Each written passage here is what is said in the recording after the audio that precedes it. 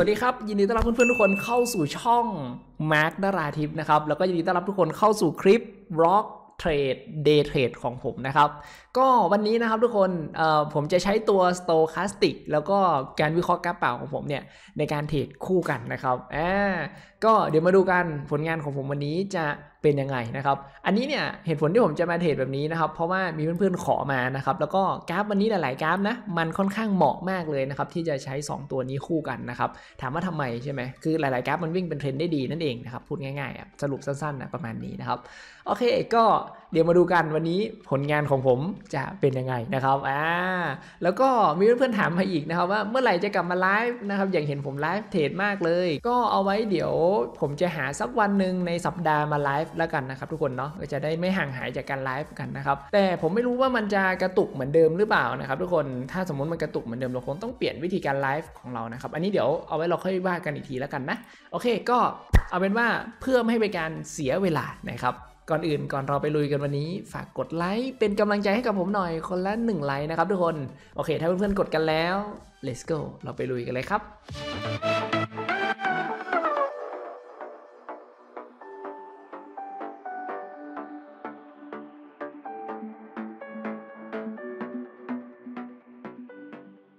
โอเคครับได้จุดเข้าสำหรับไม้ที่ 1 ของเราแล้วนะครับทุกคนเป็นตรงนี้นะครับ ตรงนี้ผมเลือกกดเทรด ขึ้นนะครับ เหตุผลที่ผมเลือกกดเทรดขึ้นตรงนี้เพราะว่านี่เลยนะครับอย่างแรกนะ ในภาพใหญ่กราฟวิ่งขึ้นมาเป็นเทรนขาขึ้น อย่างเห็นได้ชัดเจนเลยนะครับ แปลว่าตอนนี้แรงซื้อหรือว่าแรงที่ทำให้กราฟวิ่งขึ้น ปัจจุบันนี้ก็น่าจะมีมากอยู่พอสมควรเลยนั่นเองนะครับ แล้วก็ราคาปัจจุบันนี้เองล่าสุดก็ย่อตัวลงมาลึกมากพอสมควรแล้วด้วย แล้วก็ชัดเจนมากนะครับว่าเหมือนจะลงมาได้ลึกสุดแล้วนะครับณช่วงนี้นะเห็นไหมฮะก็เหมือนติดแนวรับหรือติดอะไรสักอย่างหนึ่งแล้วสุดท้ายก็ลงต่อไม่ไหวแล้วก็กลับตัวัวขึ้นมาอย่างเห็นได้ชัดเจนแล้วด้วยนะครับอ่าณช่วงนี้นะ ซึ่งพร้อมๆกันกับอุ้ยลงแรงเลย ซึ่งพร้อมๆกันกับที่กราฟปัจจุบันนี้เริ่มกลับตัวขึ้นนะครับเส้นสโตคาสติกก็มาตัดขึ้นในช่วงนี้ แล้วก็วิ่งแต่ระดับสูงขึ้นเรื่อยๆ อย่างเห็นได้ชัดเจนด้วยนะครับนี่นะก็เป็นอีกหนึ่งสัญญาณคอนเฟิร์มนะครับว่าแรงซื้อหรือแรงที่ทำให้กราฟวิ่งขึ้น ก็น่าจะเริ่มเข้ามามีผลมากกับกราฟปัจจุบันนี้แล้วน่าจะส่งให้กราฟปัจจุบันนี้กลับตัววิ่งขึ้นมาได้แล้วนะครับ ก็ด้วยผลตามนี้นะ ผมเลยเทรดขึ้นไปนะตรงนี้แต่ผลลัพธ์ที่ได้ จบแพ้นะครับอ่า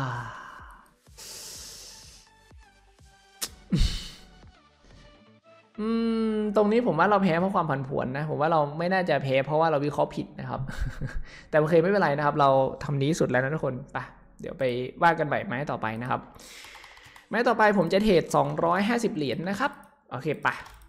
let's go ลุยกันเลยครับ ได้จุดเข้าตรงไหน เดี๋ยวว่ากันอีกทีสำหรับในไม้ที่ 2 นะครับ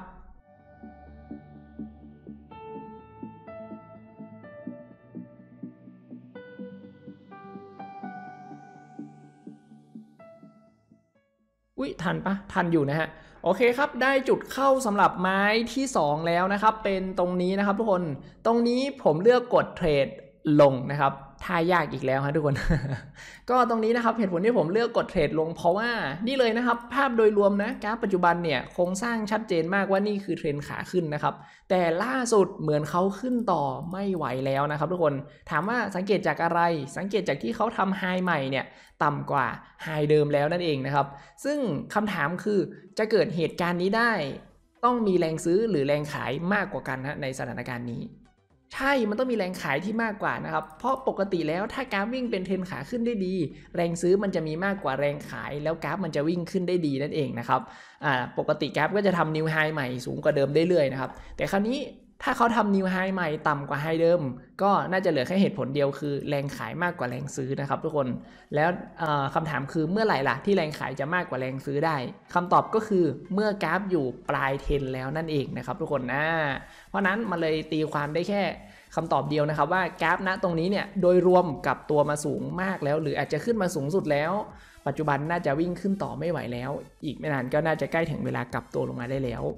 นะตีความได้แบบนี้นะครับเทรนด์ขาขึ้นตรงนี้น่าจะจบแล้วนะครับอ่าแล้วก็ action ล่าสุดนะครับในภาพเล็กเองนะราคากลับตัวขึ้นมาสูงมากพอสมควรแล้วด้วย แล้วก็ขึ้นต่อไม่ไหวเริ่มกลับตัวลงอย่างเห็นได้ชัดเจนแล้วด้วยโอ้เมื่อกี้ผมกดไม่ทันนะครับอู้แต่ใช้ได้ได้จุดเข้าดีอยู่นะครับ อะก็ไม้ที่ 3 เทรดต่อเลยนะ แต่เดี๋ยวอธิบายไม้ที่ 2 ให้จบก่อนแล้วกันนะฮะ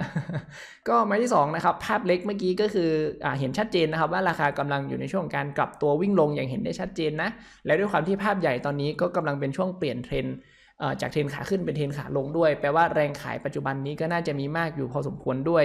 น่าจะมาช่วยส่งให้กราฟปัจจุบันนี้กลับตัวให้วิ่งลงได้มีประสิทธิภาพมากขึ้นไปอีกด้วยนะครับแล้วเส้น Stoch ก็ตัดลงนะช่วงนี้พร้อม ๆ กับวิ่งแต่ระดับเออวิ่งแต่ระดับต่ำลงไปอีกด้วยโอ้โหลิ้นพันไปหมดนะฮะ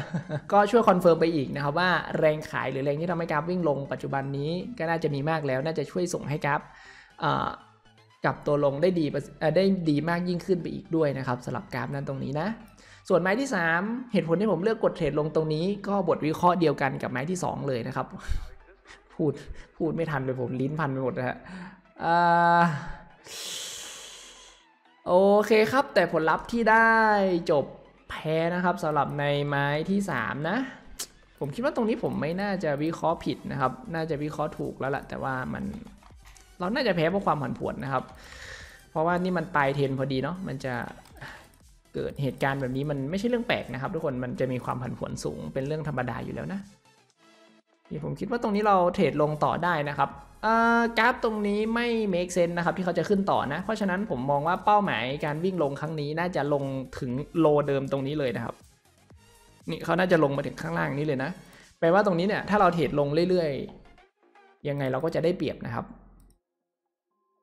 โอเคอะดูกันว่าผลลัพธ์ที่ได้จะเป็นยังไง แล้วเขาจะลงไปถึงด้านล่าง อย่างที่ผมวิเคราะห์ได้จริงไหมนะครับ แต่ด้วยโดยรวมแรงขายมันเยอะอะยังไงผมมองว่าก็ลงไปได้นะ ตรงนี้ โอเคอะเดี๋ยวดูกันจะเป็นยังไงนะครับอุ้ยขึ้นแรงเลยนะครับเอ่อไม้ที่ 4 นะครับ ผมเทรดลงตรงนี้ด้วยเหตุผลเดิมเลยนะครับ ก็คือภาพใหญ่กำลังเปลี่ยนจากเทรนขาขึ้นเป็นเทรนขาลงนะแปลว่าแรงขายปัจจุบันน่าจะมีมากพอสมควรนะครับ แล้วก็ภาพเล็กราคาก็เริ่มกลับตัวลงอย่างเห็นได้ชัดเจน ก็น่าจะกำลังกลับตัววิ่งลงตามเออน่าจะกลับตัววิ่งลงได้ดี ตามภาพใหญ่ของเขาที่มีแรงขายอยู่เยอะนะครับ อืมก็ด้วยผลตามนี้นะ ผมเลยเทรดลงแต่ผลลัพธ์ที่ได้ อืมรอจบแพ้นะครับ กราฟตรงนี้พุ่งขึ้นมาซะงั้นนะครับ ทุกคนไม่เมคเซนต์มาก ๆ นะครับ อยู่ ๆ จะขึ้นก็ขึ้นนะฮะ อืม มันไม่ make sense อะมองยังไงมันก็ไม่ make sense อะนะฮะโอเคครับ เดี๋ยวรอเขาใกล้ ๆ แนวต้านด้านบนสักหน่อยแล้วกัน ผมจะเทรดลงอีกไม้หนึ่งนะครับ นี่นะครับมันมีแนวต้านอยู่ช่วงนี้หนึ่งแนวนะ เห็นไหมที่กราฟมาติดล่าสุดเนี่ย เดี๋ยวรอให้เขาติดแนวต้านอีกรอบหนึ่งนะครับ ผมจะเทรดลงอีกไม้หนึ่งนะ โอเค เราน่าจะได้เข้าอยู่นะครับ อืม ผมน่าจะรีบกดตั้งแต่เมื่อกี้เนาะเห็นแล้วเสียดายเห็นแล้วไม่ไม่รีบกดแล้วเสียดายนะครับ ไม่เป็นไร เดี๋ยวรอก่อนรอก่อนเอ่อนั่นไง ไม่เข้าตั้งแต่เมื่อกี้โอเค เรียบร้อยเลยทีนี้ราคาลงไปแล้วนะครับ เห็นไหมเป็นไปอย่างที่คิดทุกข้อ เป๊ะทุกอย่าง แต่ไม่เข้านะ เครียดเลยทีนี้เอ่อมันกดดันนะครับ เวลาเราเจอสถานการณ์แบบนี้นะ สถานการณ์ที่เราวิเคราะห์ถูกแล้ว แต่ว่ามันไม่เป็นไปอย่างที่เรา เออ แต่ว่าเราไม่ได้เข้าอะ มันเป็นแบบนี้เราวิเคราะห์แต่เราไม่ได้เข้าอะ แล้วเราต้องมาหาจังหวะเข้าใหม่ มันกดดันมากเลยนะครับ อืม ผมคิดว่าน่าจะยังมีนะ จังหวะ ราคาน่าจะกลับขึ้นไปได้อยู่นะครับ เดี๋ยวดูกันว่าจะกลับขึ้นไปได้ไหม ถ้าเขาขึ้นไปได้ แล้วชนแนวต้านอีกรอบหนึ่งผมจะเทรดลงมานะครับ แต่ถ้าไม่ได้ก็เหนื่อยหน่อยนะฮะ ต้องเหนื่อยหน่อยนะครับ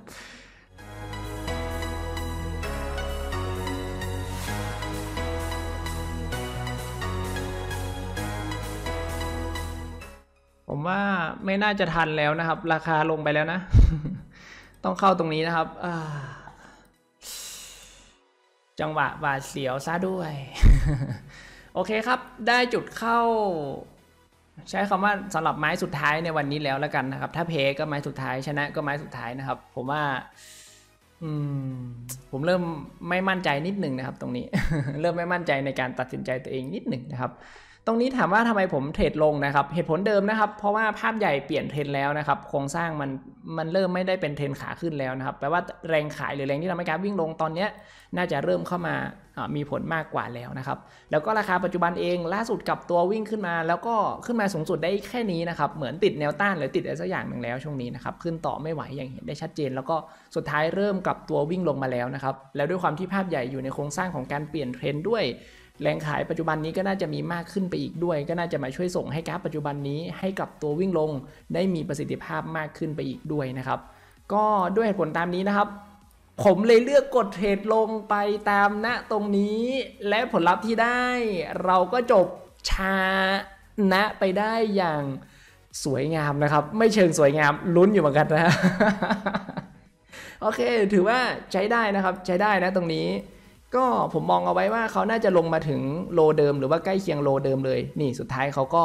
ลงมาได้ใกล้เคียงเลย ผมคิดว่าน่าจะถึงเลยนะครับ เป็นไปอย่างอ่านี่ไงถึงเลยนะครับ เป็นไปอย่างที่เราคิดไว้เป๊ะๆเลยนะครับ ทุกคนแต่เสียดายนะ ข้างบนนู้นผมไม่ได้เข้านะครับเมื่อกี้